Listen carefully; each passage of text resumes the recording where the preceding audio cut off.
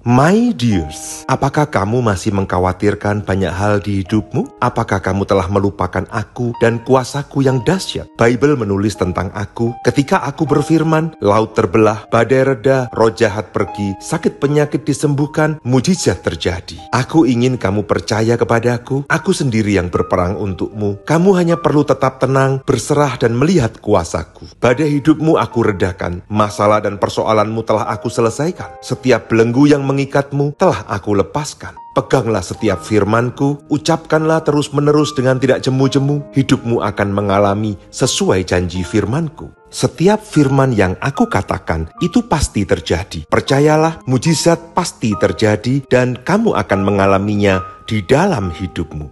Aku mengasihimu, Jesus Christ.